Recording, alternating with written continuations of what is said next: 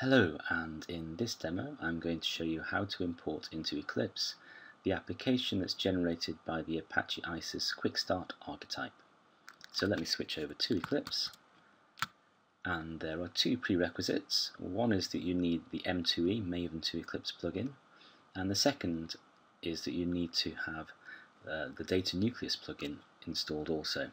Uh, DataNucleus is a, an ORM and uh, the JDO object store in ISIS uses that for doing the persistence. If I go to Windows Preferences you can see that there's a section there. Okay, so the first thing to do will be to import the project. Uh, the Maven archetype obviously produces a Maven project, so we can go File, Import Project, Existing Maven Projects, and I need to specify the directory where I generated the application to and the wizard's going to find the parent project module and all the submodules. There they all are. Hit finish. And so we've got a number of projects. The DOM project is the domain object model, that's where most of the goodness is. And uh, we have fixtures, we have some implementations of repositories, and we have the application itself, the, war, the thing that builds up the war file. But let me just spin back to the domain object model. There's one bit of configuration I need to do here because I need to tell DataNucleus to enhance the files. The enhancement process is basically um, to, for the lazy loading and dirty object tracking that it does for us. So there are a couple of steps to this. First is to go DataNucleus add DataNucleus support. The next step is to again go down there and turn on enable auto enhancement.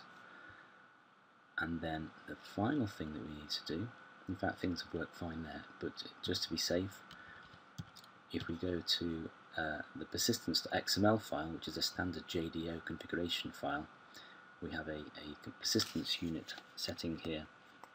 We need to copy that. And if we now go to the project properties uh, then we go to the enhancer section.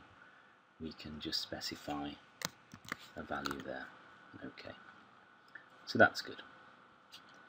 I think what I'm going to do is just force an update of everything just for good measure but I don't think I probably needed to in this particular case. Clean all projects and rebuild. And as that completes let me go to the next bit we're going to run which is to run up the, run up the application. And uh, the way I prefer to do this is that we provide a launch file, which is a run configuration file, which you can find in the web app application. I can right click on this, and I can go run as, or I can go debug as, the uh, launch file there. And this is going to bootstrap Jetty running the application deployed on port 8080. So that will be up and running in just a second. There we are. Let me now go back to a web browser, navigate to localhost 8080,